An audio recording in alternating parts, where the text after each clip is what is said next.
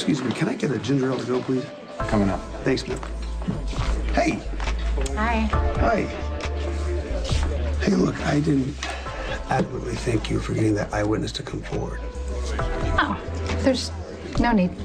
I'm just glad that Danny won't have to visit his father in Pentonville.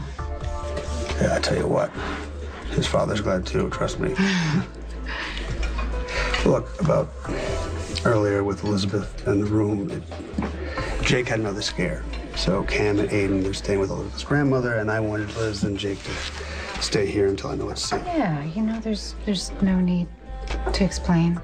Although I do, I, I appreciate the explanation. Well, I felt I should. Jake and I were having a little chat, and uh, we talked about you, actually. And I told him that you are someone who searches for the truth. That's what funny. you've done for me twice, and I am very grateful. You know, it's funny. I I wasn't always interested in the truth. You're one